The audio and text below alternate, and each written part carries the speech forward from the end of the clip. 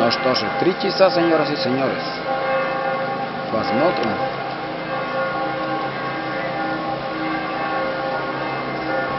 Улица Костельная. Моя любимая и неповторимая улица.